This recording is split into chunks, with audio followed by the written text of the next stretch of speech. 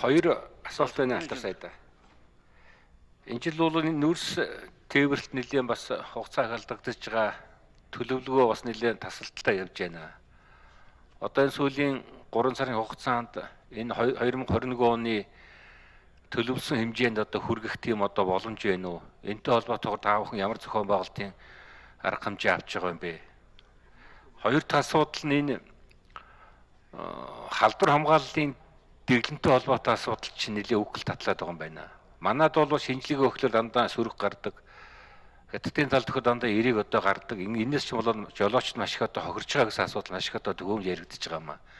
Энийг одоо энэ эрүүл мэндийн яамттайгаа босод холбогдох газартайгаа онцгой онцгой хөмстойгоо хятадын талтайгаа сая яриад одоо бас нэг одоо голдролд нь оруулах тийм боломж байгаа мүү юм уу? Би бол бас боломж энэ нүүрс экспортлтод бас боломж гараад ирнэ гэж ойлгоод байгаа юм. Хятад ч нь бол энэ Австралиас авах нүүрс нь маш их одоо багасчихсан. Дотооддоо нүүрсний хомсдолд орцсон гүн рүүгөө ялангуяа цахилгаан эрчим хүчний доголд дутагдалд орох нэ гэдэг асуудал маш их одоо өчтөө ярьж байгаа. Ингээд Оросоос бас нэг тийм туслан дэмжлэг одоо авах асуудал маш их ярьж байгаа байна. Энэ үед нь одоо манайхан нэлээд сайн хаттын талтаа нэлээд саад ажиллаад нүүрс экспортыг одоо нэмэгдүүлэх тийм одоо боломж одоо байна уу? Энэ талаар одоо та бүхэн хайж ярьж байгаа асуудлууд байна уу гэдэг.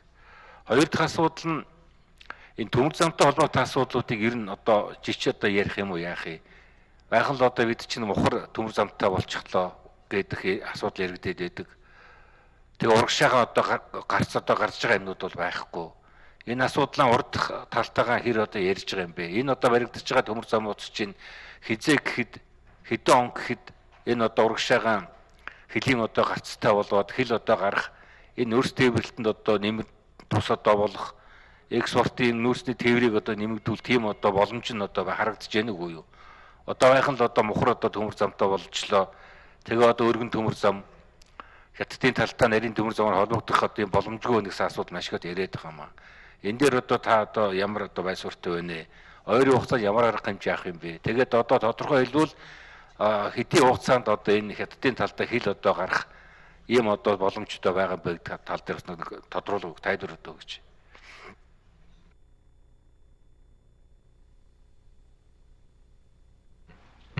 За их хариулах юм.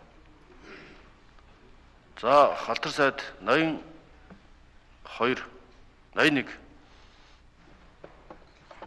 За чин зэрэг гишүүний асуултанд хариулъя. Тэгээ энэ нүүрс гарах асуудал үнэхээр санаа зовоож байна.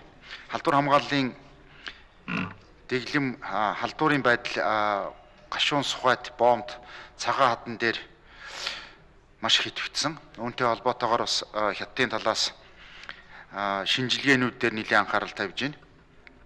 А ер нь бол энэ нэмэгдүүлэх тал дээр бол манай сангийн яам гурван уурхайтай ирээд хөлийн яг зурвас дээр контейнерын терминал байгуулсан. Үндсэндээ бид нар туршилтын юмнууд нь хийгдсэн маш амжилттай болсон. Одоо хятадын талтай яриа хилцлийн шатанд явагдаж байна. За хятадын талд гарахаар эриг гардаг, манай дээр ихээ сөрөг гардаг яг ийм зүйл одоо 3 дахь сартаа үргэлжилж байна. Бид нар эрүүл мэндийн яамд асуудлыг тавьсан. Эрүүл мэндийн яам бүгд найрамд хятад улсын холбогдох байгууллагуудтай хоёр удаа онлайн уулзалт хийсэн байна. За тэгээд энэчнээс хөсүүдийн мэрэгчлэнүүдийг бас аваачиж тэн шинжилгээнд хэд хэд удаа ажиллаулсан. Яг үндэ бол одоо Монгол тал дээр сөрөг цаанаа гарахаараа эрийг гардаг нэг юм зүйл а тоног төхөөрөмжийн хувьд бол адилхан байна. Одоо тэгээд яг энэ дээр хөсүүтийнхаа чиглэлийг бид нар харсан байдалтай юм байна. Энэ бол одоогийн байдлаар үргэлжилж байна. За төмөр замтай холбоотой асуудал хил холболтын цэгийн асуудлыг би хэлсэн. Хятадын China Energy компанийн төмөр замын компанитай өнөөдөр 3 дахь удаагийнхаа уулзалтыг хийж байна. За энэ уулзалтын дараа бол таван толгой төмөр замынхан бид нар тодорхой мэдээлэл өгнө. Энэний өмнө уул уурхай хүнд үйлдвэр яам гадаад яамтай бид нар ярилцаж айлын талтаа ярих үндсэн зарчмуудаа тохирсон. Одоо бол бид нар өргөн нарийн гэхгүй хил холболтын цэгийн хувьд ихний гаргалгаа гарсан. Одоо үүнийхээ дараа нарийн цариг нааш орж ирэх үү эсвэл өргөн царига цаашаа гарах уу гэдэг дээр айлын талтаа эцсийн шийдлийг ойрын хугацаанд гаргахаар ажиллаж байгаа. А ер нь бол таван толгой төмөр замын барьж байгаа компани мэдээлэлээр бол бид нар ч үдсэн 2022 оны 7 сар ихэд бол одоо гашуун таван толгоогоос гашуун сухай төртөө хүртэл төмөр замын бүтээн байгуулалтын ажил дуусна гэдэг ийм одоо чиглэлтэй байгаа. Саяхан манайхаа явуулж үтсэн ялангуяа дид үтсийн ажил бол сайн явж байна. А зүгээр барилга байгууламж буюу нөгөө удирдлагын байр за орон сууцны хувь дээр бас одоо өвөл нэлээд сайн шахах шаардлагатай гэсэн зүйлийг өгсөө.